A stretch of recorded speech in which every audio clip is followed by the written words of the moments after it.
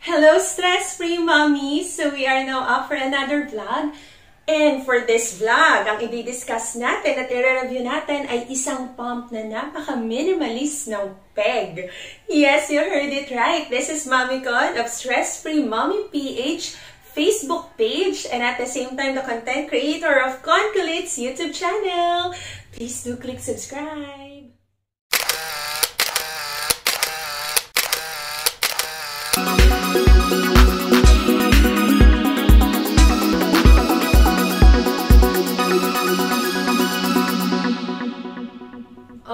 So mommies, ano nga ba ang ating i-review na breast pump for this video?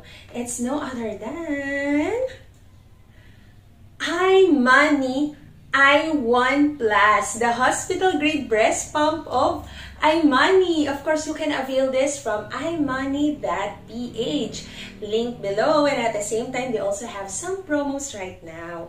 So, yung breast pump na to, upon receiving this, grabe, ang lakas maka-minimalist mga mommies. Promise. No?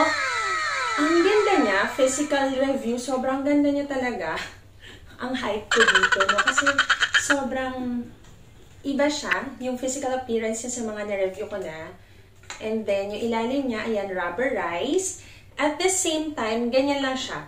Very handy naman siya ayun na nga, hospital grade kasi to kaya mas malaki siya compared dun sa ibang breast pump na nakikita ninyo. For those who are just new in pumping, uh, clear ko lang, no, kasi nasabi ko yung salt ang hospital grade. Yung hospital grade, uh, ibig sabihin, yung machine nito is talagang for multiple user talaga, na pwede mo siyang gamitin. Say, for example, you really want to exclusively pump or you will be pumping more than 5 times a day. Ayan this kind of pump is for you. So, another thing na gusto kong sabihin sa inyo dito is, if you will look closely at its screen, later ipapakita ko sa inyo yung close-up look pa niya, super flat lang. Wala siya yung mga button-button na kung ano-ano. So, para siyang touchscreen. If, ah, actually, touchscreen nga siya. Ayan, so, ganun yung moment niya. Tapos ang on and off button niya, wala na siya yung mga button na naka-emboss uh, or what. Ito na siya. Ayan. So, super cute niya. Yung pagka-white niya, matte finish siya. Alam niyo yun, yung hindi siya yung makinis na white, medyo rough siya pag hinawakan mo. So, it really adds to the appeal talaga. Especially if you are a minimalist mom talaga gusto mo, everything is white around you. Talaga, grabe. So, Masasabi ko is, ayan, yung charge niya is yung usual na bilog. Karaniwan kasi ang iMoney, ang charger na niya is yung, um, ano tawag doon, Type-C na charger na rin ng mga cellphone right now. But in this one, pabilog pa rin yung charger. Wait lang, ito yung charger. Ayan, ito yung charger niya. Ayan, pag ganyan yung charger niya, and then ito yung head, no? Charger niya. Ayan, charger. Charger. okay, yan. Medyo malaki lang din yung charge. So, another thing then, na masasabi ko dito sa iMoney, ayan, very friendly yung kanyang motor kasi, di ba, as a pumping mother, we need to have different breast kit or I mean we have we need to have multiple breast kit. So it's hackable kasi yung hose niya, ito yung dulo na to. So as long as yung hose ng breast pump mo ganito yung dulo, So, pwede mo siyang gamitin dito. Ayan.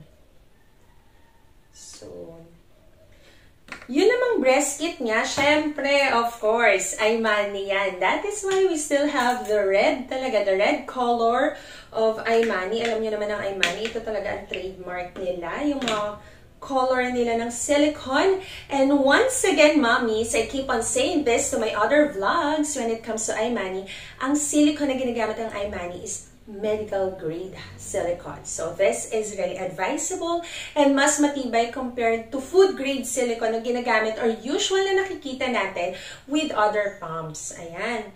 So, yung flange na kasama niya is actually 24mm. So, ang iMoney naman, they have inserts if your nipple size is um, smaller than this one. Tapos, wide neck yung bottle na kailangan mong gamitin if you will use the flange of iMoney. One thing lang na napansin kong iba sa iMoney is yung dulo ng cover ng flange is instead na parang ipapasok mo siya sa loob just like the usual breast pump, ito naman, ayan, parang may patulis na ganon. So, ganyan siya. So, and then you have your bottle here. Ayan. Ang ganda niya, mamis. And, ano talaga, ang linis niya talagang tingnan. No? So, I'll give you a closer look of this breast pump para mas ma-discuss natin or mas makita ninyo during the review yung mga function niya. So, one thing na nagustuhan ko sa breast pump na to, when you turn it on, ayan, I will turn this on. You know what, mommies? Hindi siya yung biglang aandar na. When you turn it on, nakapause muna yung um, timer niya. Tapos, after that, you have an option dito, massage and breast pump mode. So, if you click massage, it will now start. Now, mag-start na siya. Mas malakas siya, syempre, dahil wala yung hose. So, let's assume yan na we are pumping. Lagay ko yung ano ha, yung flange. Para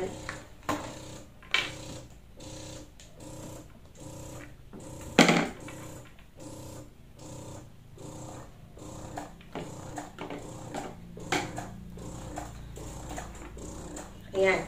So, ito yung iMoney ngayon, no? So, this is massage mode. Usually, na, or usual na nagagamit natin ng mga breast pumps is that in massage mode, kapag 2 minutes na, it will automatically transfer to breast pump mode. But in this case, you have to transfer or you have to click the breast pump mode. So, this one, no? Pag nilipat mo siya dyan, Ayan, magbe-breast pump mode na siya. So, syempre, mas mabagal yung suction nito compared to the massage mode.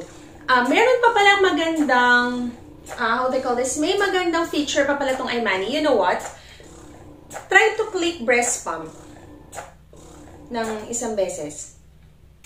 Mapupo, magkakaroon ng pause yung session mo. Ayan. Halimbawa naman, nagmamassage mode ka, tapos clinic mo yung massage mode magpo-post din yung session mo. Ayan. So, meron siyang post session. So, start na natin. Ayan. Doon mo rin i-click. So, say for example, pinost mo siya sa breast pump sa, uh, massage mode. Click mo siya sa breast pump. Mag-on na rin siya. Ayan. So, another thing na feature nito is it has cycle and vacuum. So, bihira yung mga breast pump na may cycle mode. No, laging, madalas yan, syempre vacuum. Pero yung may cycle mode, bihira yan. So, yung cycle mode, it helps talaga, um, it helps in your uh, breast pumping kasi parang ano yan eh, nakakatulong siya. Paano yung cycle, yung suction? Yan, paano mo siya isa-suction?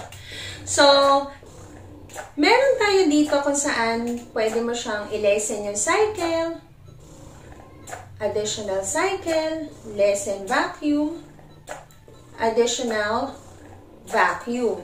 So, sa massage mode, hanggang 6 yung vacuum niya. Okay?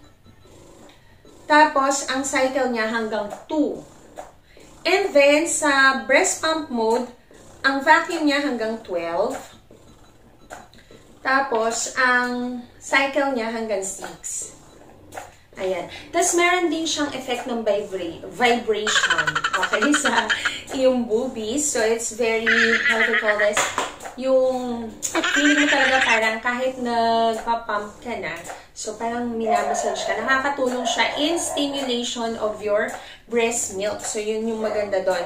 So, yung iMoney, kung makikita ninyo, ang nag-iilaw lang sa kanya is yung um, how they call this, yung pinaka-timer niya, cycle and vacuum, and battery. So, pero may ilaw din siya. Yung ilaw niya nga lang is dito sa ilalim, as in sa ilalim.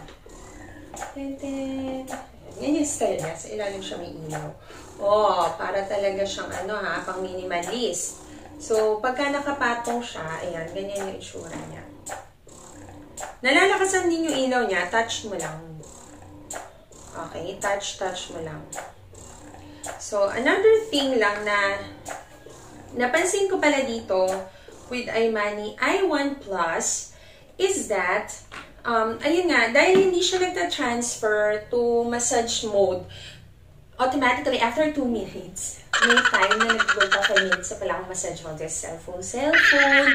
Ayan, but anyway, okay lang naman yan. Wala namang problem doon. And ayun nga, sa gabi, kapag gagamitin mo siya, pwede mo namang gamitin din yung light. Soft touch mo lang siya. Then, iilaw siya. So, yung battery naman niya, true to itself, na hospital grade, so okay na okay yung battery niya. Ayan.